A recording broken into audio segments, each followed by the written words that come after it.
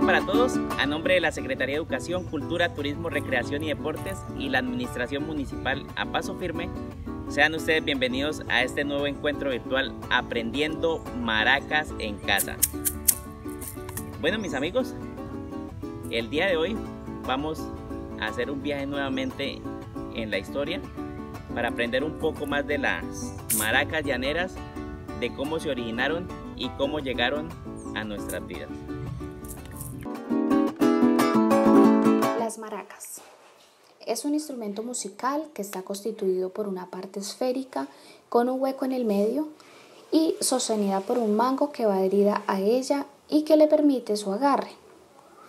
Hace parte del grupo de instrumentos idiófonos. Estos son sólidos o sellados que tienen un sonido completo. Los idiófonos son algunos de los instrumentos más antiguos del mundo. Las maracas pertenecen a la escuela de percusión de instrumentos. Son aquellos que suenan al ser golpeados o sacudidos. Origen de las maracas. Aunque es muy difícil determinar su origen exacto, se cree que las maracas fueron una invención de los indios que habitaban en las Antillas o los indios aruacos, aunque también hay quienes creen que se originaron en la región cono sur de América o incluso hay teorías que dicen que podrían provenir del Congo africano. Lo que está claro es que este instrumento tiene unas fuertes raíces latinoamericanas que lo han hecho un instrumento indispensable en el folclore y en la música popular y tradicional de estos países. En el Pacífico Sur, muchas personas de dichas civilizaciones llegaban a utilizar vainas que estaban realizadas a base de plantas o cocos, pero sin manija, para fabricarlas. Mientras en Sudamérica era el lugar donde más se utilizaba este tipo de instrumento, usaban dicho instrumento para hacer música, ya sean celebraciones o ceremonias, y muchos de sus eventos curativos.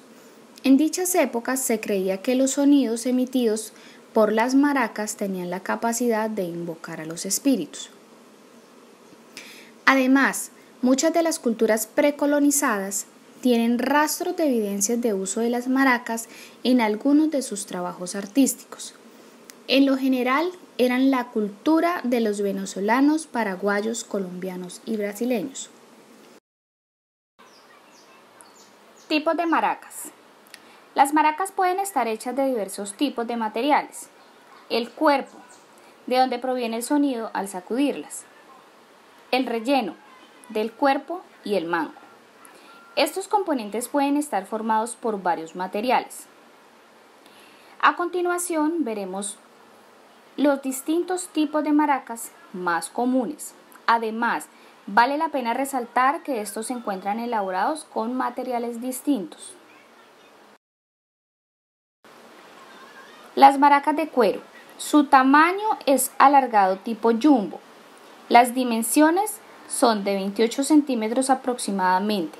Esto con el fin de darle mayor manejabilidad y mejorar la ejecución del instrumento, además de agrandar un poco más el sonido. Hay que destacar que el sonido que produce una maraca depende de la cantidad y las cualidades que mantengan la semilla dentro de la maraca. De pasta o sintéticas se caracterizan por ser más ligeras y más duraderas que otras maracas. El sonido que hacen es más ruidoso. Se elaboran en una gran cantidad de colores y se diseñan a menudo para niños ya que son fáciles de tocar. Además, su sonido se asemeja a un sonajero.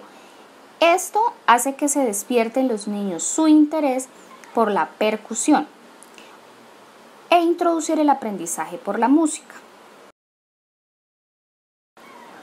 De madera. Están elaboradas de paredes de madera fina, pulidas o pintadas con colores brillantes. Producen un sonido ruidoso, sano y hueco, que le permite fijar ritmo en música tradicional. El nivel del volumen de sonido se determina por el volumen que tengan los granos. Que mientras más grandes sean, producen un sonido más ruidoso. Maracas llaneras. Están hechas de taparo, calabaza, totumo. Las maracas llaneras son maracas tradicionales de Venezuela, donde las tribus indígenas del Orinoco las crearon con fines religiosos. Su principal característica es que están hechas de la corteza del fruto de la totumo o tapara, una planta muy común en América Central y América del Sur, y rellenas con unas semillas llamadas capachos. Se utilizan como acompañante del arpa y el cuatro en ensambles de joropo. Las maracas tienen un largo pasado y un futuro prometedor por su sonido rítmico. A menudo son los primeros instrumentos para los niños debido a su sonido particular. Los musicólogos que preservan la historia de estos estilos musicales que no han sido escritos están grabando y documentando música étnica, usando maracas en muchas partes del mundo para que este patrimonio musical no se pierda. En la música moderna, esos instrumentos de percusión han encontrado hogares confortables en muchos estilos musicales. La reciente y creciente popularidad de la música latina ha atraído gran atención a las maracas. Bueno amigos, y de esta forma hemos llegado al final de nuestro encuentro virtual del día de hoy.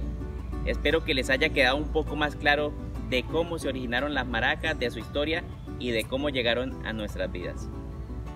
Mi nombre es Mario Romero, soy instructor de la Casa de la Cultura Bellas Artes del municipio de Puerto Gaitán y recuerda, enrédate con nosotros a aprender maracas en casa. Un abrazo.